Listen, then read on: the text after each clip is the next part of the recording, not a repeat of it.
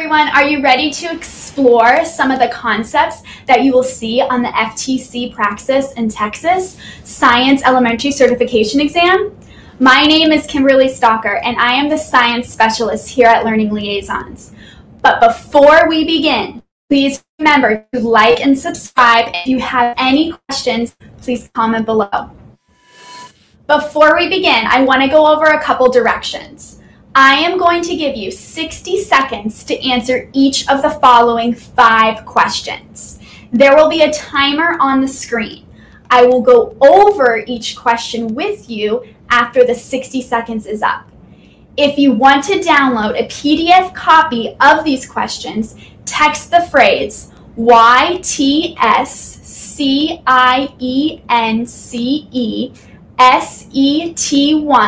that's YT Science Set 1 to this phone number 407 269 8829. Let's do this. Question 1 CaCO3 yields CaO plus CO2. In the chemical reaction shown above, the products are best classified as A, two elements, B, one element and one compound, C, two compounds, or D, two compounds and one element. I'll give you 60 seconds to think about that and we'll come back and we'll go over the answer.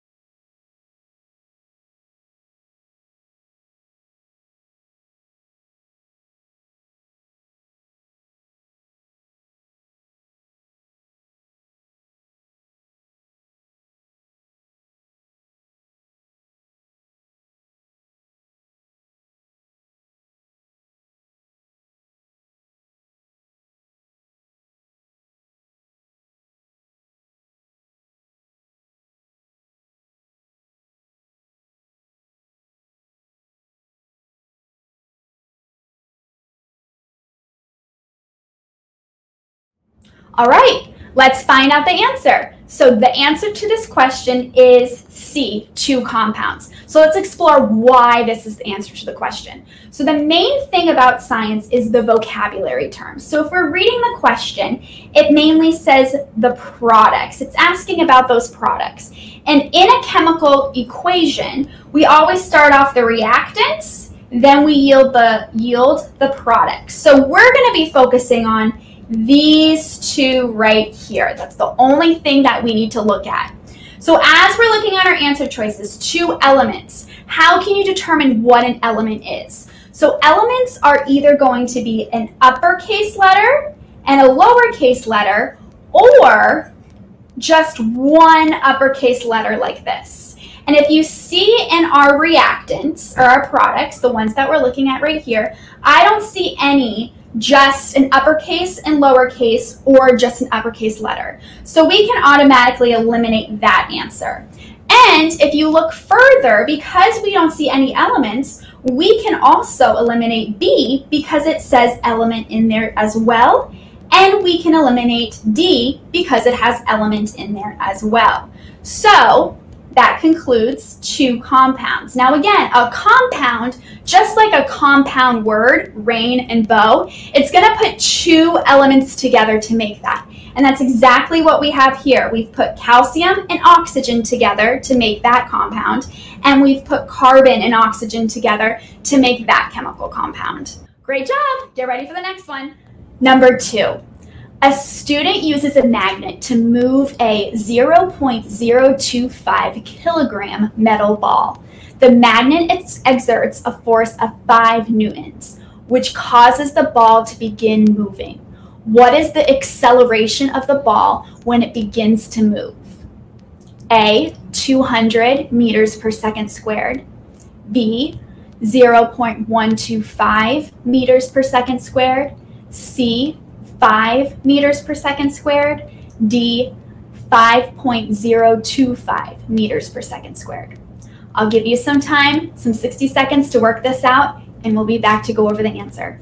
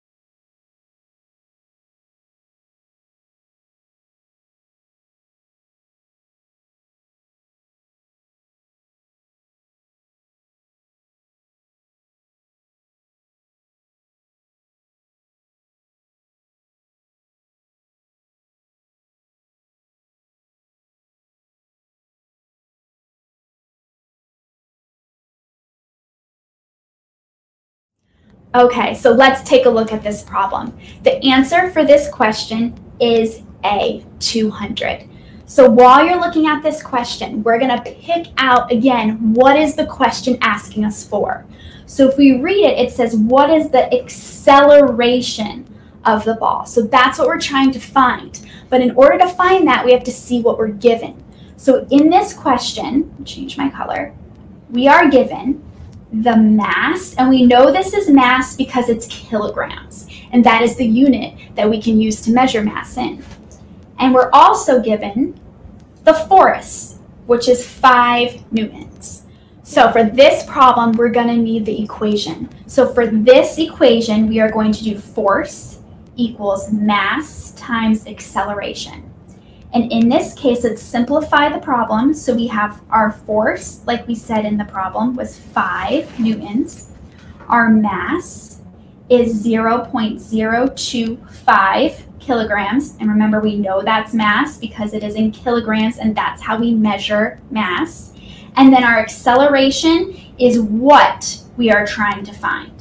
So now we're going to plug in our numbers. So if you can see, we have 5 equals 0.025, that goes with my mass, times my acceleration or my unknown variable.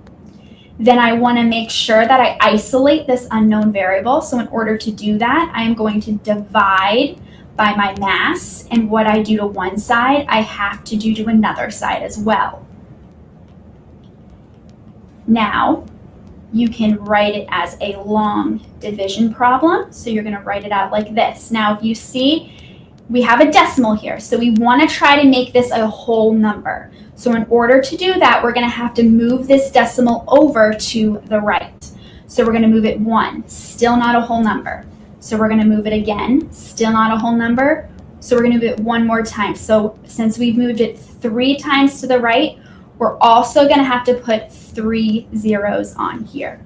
So I'm going to rewrite this so it looks a little bit better. So we have now have 25 and then 5,000. So we're going to look at this first. So 25 can't go into 5. So we're going to go on to the next number. 25 can go into 50. It can go into 50 two times. Now if you notice, looking at your answer choices, the only answer choice that starts with the 2 is A.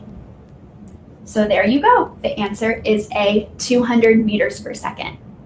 Get ready for question number 3. In the classroom demonstration shown, a rubber ball is dropped from position. The ball bounces as shown. At which of these positions does the ball have both the greatest kinetic energy and the least potential energy? A, position 1, B, position 2, C, position 3, and D, position 4. I'm to give you 60 seconds to try this problem and then we'll go over the answer.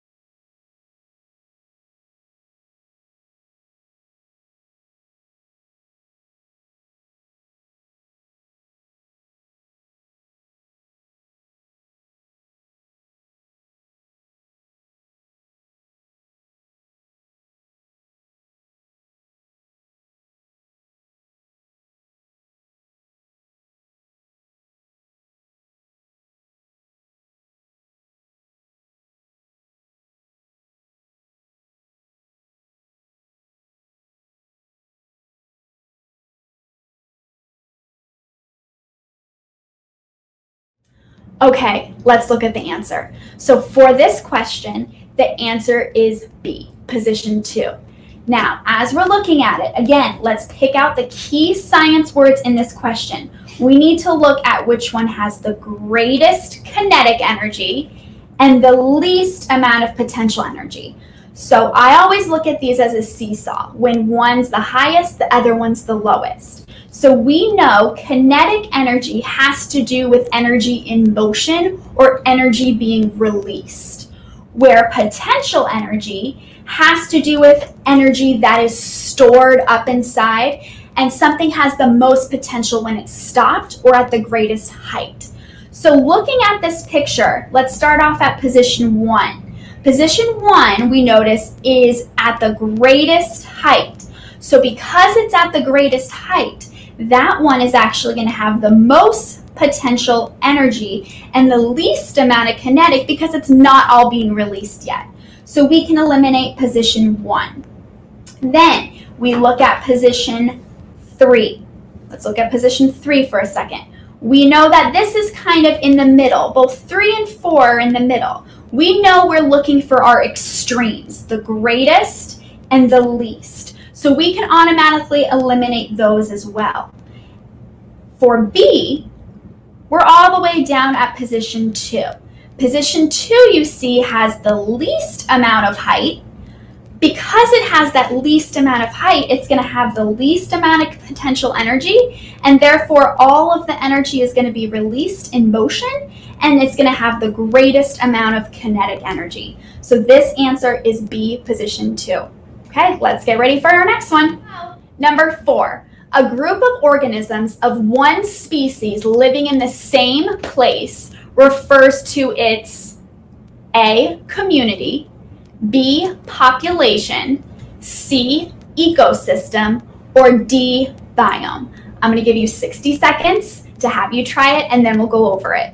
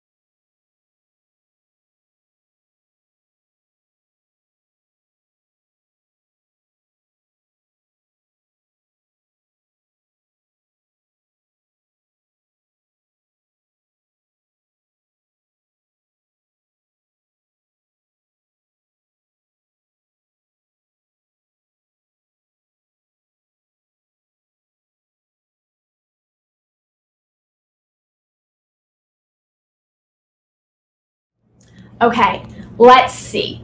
So for this question, the correct answer is B, population. So this has to do with organisms and species. So for this, I like to draw an upside down triangle just to organize all of our information. And let's look at the different levels. So the simplest form, the simplest form on its own is going to be an individual species. Then, when we put a group of those species together, we create a population. Then a bunch of different populations are going to be a community. And then once we have a bunch of communities together, that is going to be an ecosystem, which is going to consist of living and non-living things and then a bunch of ecosystems together, so a bunch of these triangles together is going to be a biome. So looking at this and your question, it says a group of one species. So one type of species. So when we look at that, a group of them is going to be our next one up, which is a population. So that is the answer B. Okay, let's get ready for number five. Number five. Which of the following is not a reaction to an internal stimuli? A. Hunger pains. B. Excessive thirst. C. Feeling sleepy. D. Running a fever. I'm going to give you 60 seconds. Let's give it a shot and then we'll come back and debrief and go over the answer.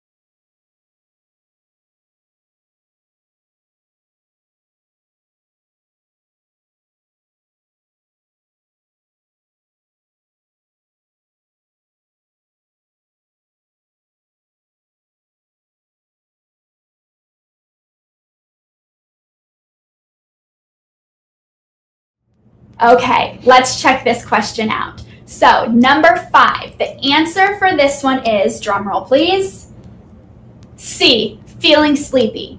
Now, in this question, there's a key word in here that says not, and sometimes that can trick us up.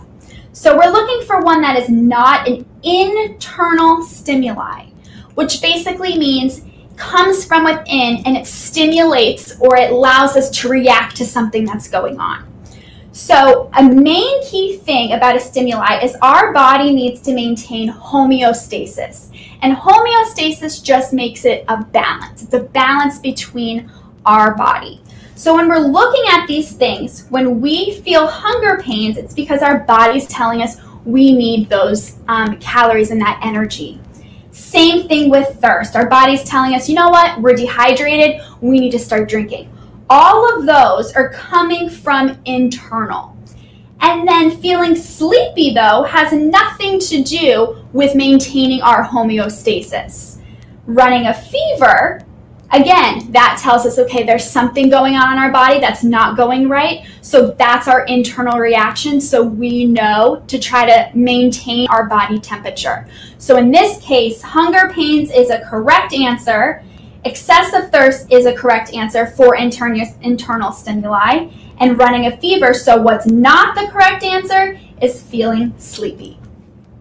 Woohoo! Great job! So passing your certification exam is about three things. Knowledge, skill, and attitude. Knowledge is about knowing about your test, and knowing how many questions are on it, what's going to be tested, what concepts are going to be on it. Skill is about practicing and knowing those test taking strategies, like how to dissect a question or pull out those key science vocabulary terms. And attitude is about gaining that confidence through reliable resources like Learning Liaison. I am so proud of you all so, so much. And always remember, it's when you pass, not if you pass. Hope to see you again in other science videos. Bye!